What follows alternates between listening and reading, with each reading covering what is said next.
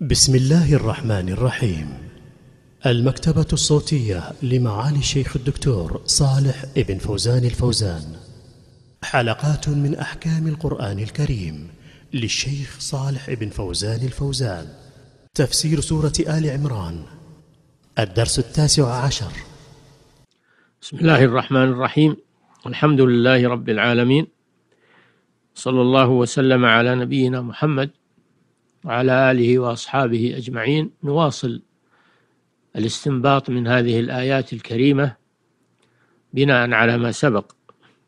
فنقول وفي هذه الآيات التي مر تفسيرها من قوله تعالى فبما رحمة من الله لنت لهم إلى قوله تعالى وإن كانوا من قبل لفي ضلال مبين نأخذ منها أيضا تنزيه الله سبحانه وتعالى عن الظلم.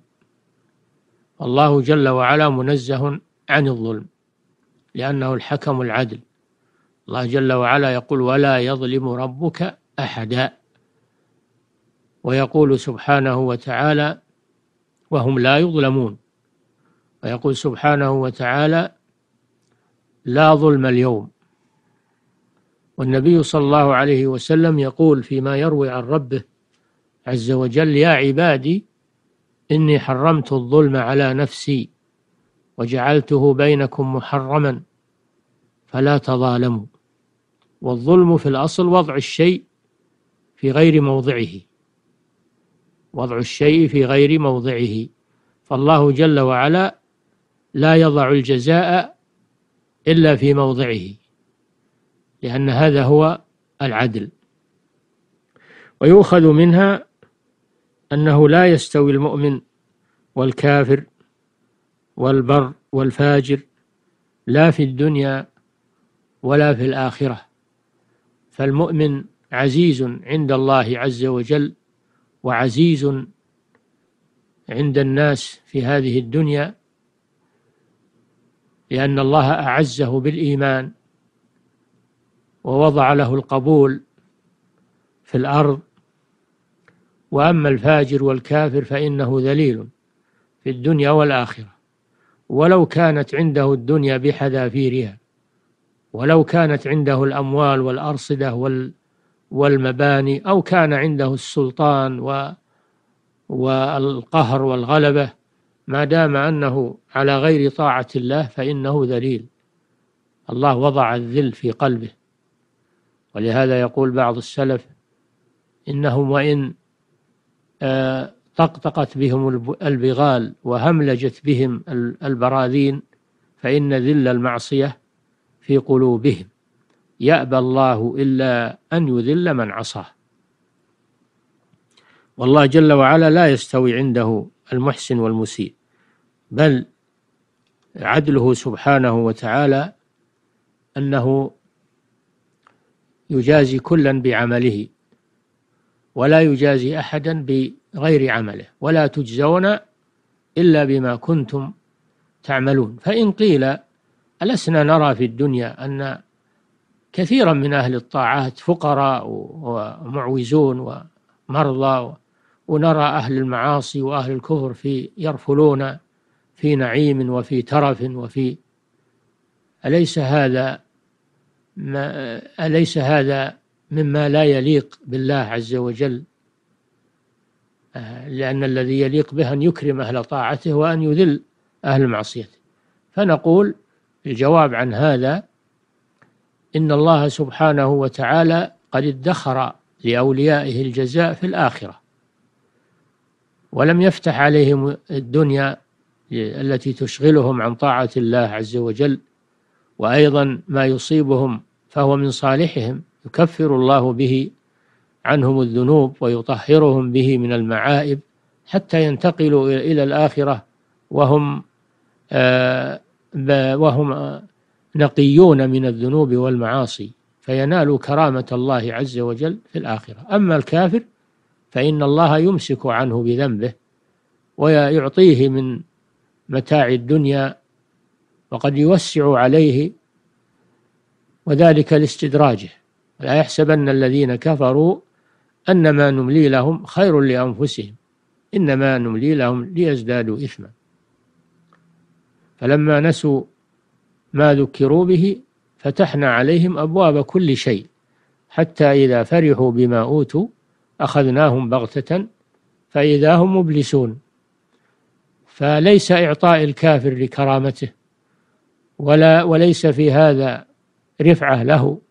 وإنما هو لمضرته واستدراجه وليس ما يصيب المؤمن لهوانه على الله بل إنه لصالحه ولأن الدنيا لا تساوي شيئا. فالله جل وعلا لو كانت الدنيا تساوي عنده شيئا ما سقى منها كافرا شربة ماء. هذا هو حاصل الجواب عن هذه الشبهة. ويؤخذ من هذه الآيات أن بعثة النبي صلى الله عليه وسلم هي أكبر النعم على البشرية عموما وعلى المؤمنين وعلى المؤمنين خصوصا.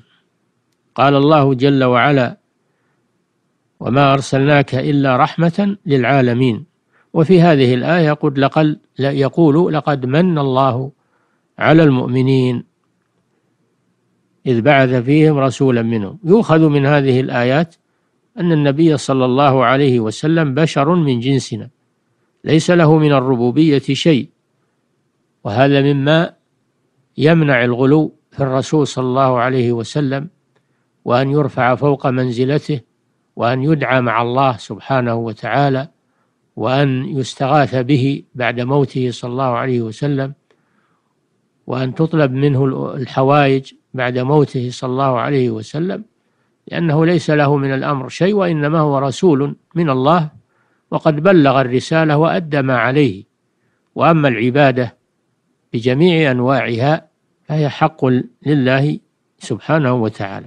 ولهذا يقول لقد من الله على المؤمنين إذ بعث فيهم رسولا من أنفسهم يعني من جنسهم من ناحية آه، من ناحية الشخصية.